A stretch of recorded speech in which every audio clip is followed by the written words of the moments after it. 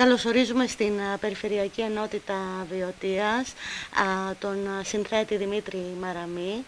Ε, πραγματικά είναι ιδιαίτερη τιμή για την Βιωτία που σήμερα βρίσκεται εδώ.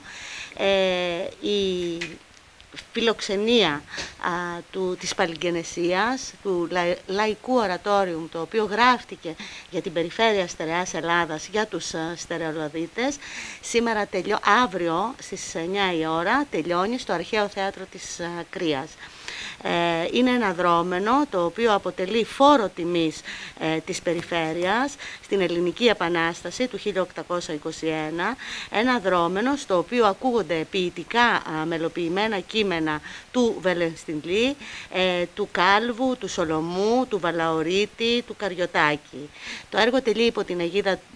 υπό την αιγίδα της Επιτροπής Ελλάδα 21 και βεβαίως διέπεται από όλα τα μέτρα προστασίας για τον COVID. Σας περιμένουμε λοιπόν όλους αύριο στις 9 η ώρα στο ανοιχτό θέατρο της Κρίας να απολαύσουμε όλοι μαζί το υπέροχο αυτό λαϊκό ορατόριο.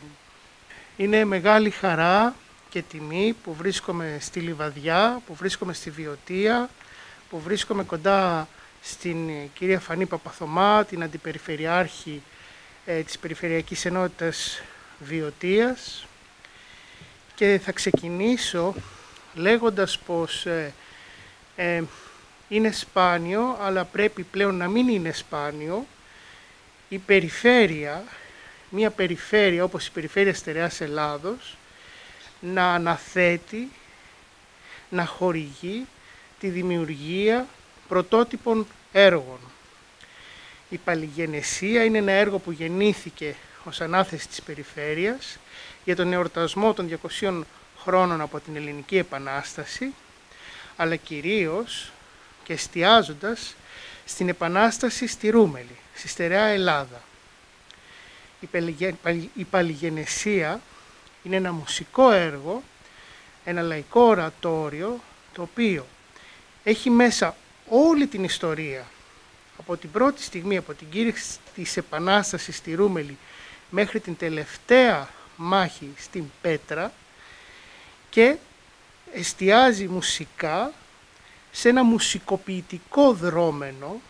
όπου πρωταγωνιστούν ένας χορός όπως ο χορός της αρχαίας τραγωδίας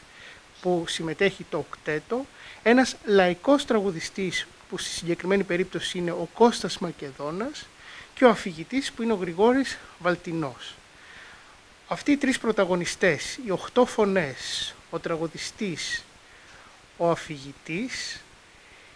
ταξιδεύουν μέσα από τη μουσική και την ποίηση, βγάζοντας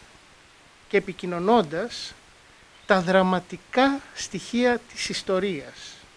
τις συγκινητικές στιγμές που διαδραματίστηκαν σε αυτή την επανάσταση, αυτό το θαύμα του θάρρους και της κραυγής για ελευθερία. Όπως είπε η κυρία Παπαθωμά, ακούγονται μελοποιημένα ποιητικά κείμενα όπως του Ρίγα Βελεστιλή, του Διονυσίου Σολομού, του Κάλβου, φτάνοντας όμως και σε σύγχρονους ποιητές που ζουν και σήμερα όπως ο Πάνος Κυπαρίσης και ο Θανάσης Χατζόπουλος, ακούγονται κείμενα του Θωμά Κοροβίνη και του Παντελή Μπουκάλα, που σημαίνει ότι γίνεται μια σύνδεση από την προεπανάσταση που είναι ο Ρήγας Βελεστινλής, μέχρι το 2021, το σήμερα. Το έργο χωρίζεται σε έξι ενότητες που είναι Αλέξανδρος Υψηλάντης, δηλαδή η ιστορία πριν ξεκινήσει η Επανάσταση, Αθανάσιος Διάκος, με το που ξεκινάει η Επανάσταση στη Ρούμελη,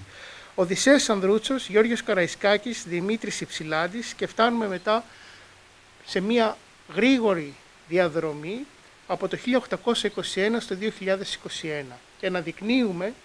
τις μεγάλες προσωπικότητες που γεννήθηκαν στη στερεά Ελλάδα, των γραμμάτων προσωπικότητες, των επιστημών προσωπικότητες, της τέχνης. Και έτσι μέσα από αυτό το ταξίδι, με την ισχυρή ταυτότητα της στερεάς Ελλάδας, το έργο γίνεται οικουμενικό, παγκόσμιο. Κλείνοντας, θα πω ένα μεγάλο ευχαριστώ σε όλους τους συντελεστές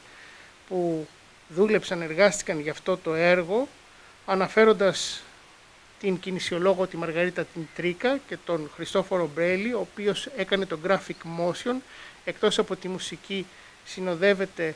και από graphic motion που εκεί φαίνεται όλη η ιστορία της Επανάστασης στερεά Ελλάδα. Και φυσικά να ευχαριστήσω τον Περιφερειάρχη, τον κύριο Φάνη Σπανό και όλους τους ε, συνεργάτες αντιπεριφερειάρχες και κυρίως βέβαια την Οικοδέσποινα σήμερα εδώ που θα παρουσιαστεί το έργο ίσως και στον πιο όμορφο χώρο που είναι το θέατρο Κρίας της Λιβαδιάς και όλους τους συνεργαζόμενους φορείς. Σας ευχαριστώ πάρα πολύ.